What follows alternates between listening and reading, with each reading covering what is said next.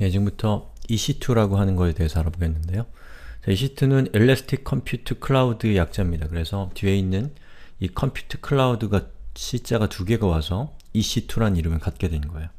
EC2를 뭐 음, EC2라고 하는 이 서비스가 아마존 웹 서비스에서 차지하는 위상이라고 하면 저는 심장이라고 할 수 있을 것 같습니다. 어떻게 보면 가장 중요한 서비스고 또 EC2라고 하는 것은 결과적으로 이 한 대의 컴퓨터를 여러분들에게 임대해 주는 것이기 때문에 그 컴퓨터로 할 수 있는 모든 일들을 다 EC2라고 하는 서비스를 통해서 할 수가 있게 됩니다. 자, 여기서 얘기하는 컴퓨터라고 하는 것은 여러분 집에 있는 노트북이나 또 데스크탑 같은 것과 똑같은 컴퓨터입니다.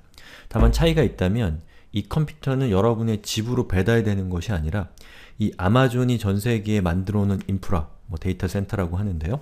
그 인프라 위에서 만들어져서 여러분들은 그 컴퓨터를 제어하려면 네트워크를 통해서 인터넷을 통해서 그 컴퓨터를 제어해야 된다는 차이점이 있을 뿐 그것은 컴퓨터라는 거죠. 그런데 이 컴퓨터를 여러분들이 만약에 집에서 컴퓨터를 구매한다 라고 하면 이렇게 되죠. 우선 결제를 하고 배달이 올 때까지 기다려야 되죠. 그리고 배달이 오면 그 컴퓨터를 조립하거나 아니면 완제품이라면 컴퓨터를 킨 다음에 만약 여러분들이 거, 그것을 통해서 웹 서비스를 한다고 그러면 뭐 이런저런 프로그램들을 설치하거나 이렇게 해야 되는 거잖아요. 근데 이런 것들을 어, 아마존 웹 서비스와 같은 클라우드 서비스를 이용하게 되면 여러분이 클릭 몇 번으로 어, 단 1분 만에 컴퓨터 한 대를 생성을 할 수가 있습니다. 그리고 컴퓨터라고 하는 것이 한번 구매를 하게 되면 이것이 더 이상 필요 없게 되면 여러분들이 그거를 버릴 수 있나요? 물론 버릴 수 있겠지만 손해죠. 그럼 뭐 장터에다 판다거나 이런 일을 해야 되는데 굉장히 복잡하잖아요. 그쵸? 그래서 나온 것이 hosting이라는 서비스죠. 그래서 web hosting 같은 서비스를 사게 되면 바로 이러한 것들을 대행해주는 업체가 생기는 겁니다. 근데 web hosting 같은 경우는 보통 약정으로 계약을 합니다. 그래서 한 달에 한 달에 얼마 또는 6개월에 얼마를 하면 더 싸게 뭐 이런 식으로 계약을 하기 때문에 여러분들이 만약에 6개월 정도 약정을 해서 컴퓨터를 구매했다 라고 한다면 그 전에 그 서비스를 중단시킬 수 있는 방법이 없죠. 만약에 중단시킬 수 있다라고 해도 위약금을 묻는 방식으로 하게 되고 그 과정이 상당히 복잡하고 시간이 많이 소모가 됩니다.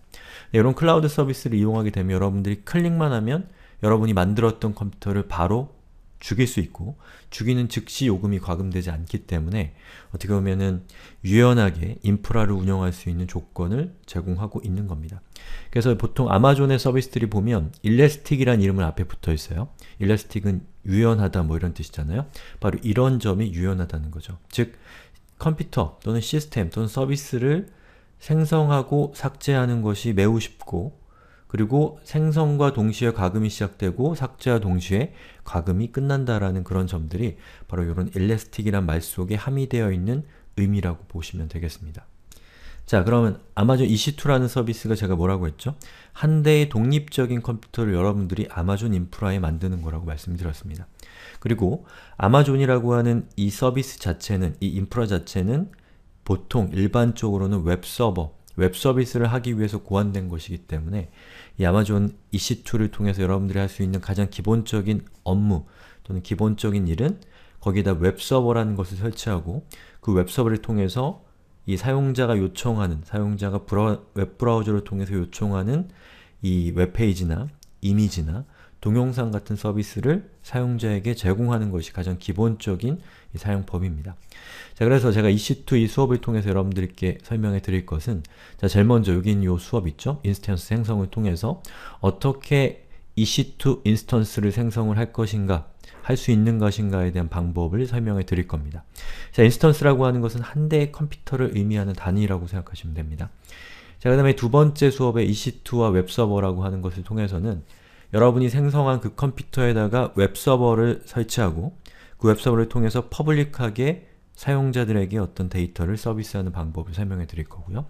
그리고 Elastic Block Store, Store라고 하는 부분, 줄여서 EBS라는 이름을 갖고 있습니다. 저것을 통해서 여러분들이 EC2라고 하는 컴퓨터에다가 하드디스크를 꽂듯이 또는 SSD를 꽂듯이 어떤 추가적인 용량을 더 부과하는 방법에 대해서 설명을 드릴 거고요. 뭐 지금 제가 설명드리는 단계에서는 아직 준비가 되어 있지 않지만 뭐 command line interface를 통해서 EC2를 제어한다거나 또는 SDK를 통해서 프로그래밍 쪽으로 EC2를 제어한다거나 이런 수업들도 제가 차근차근 준비를 하고 있으니까요.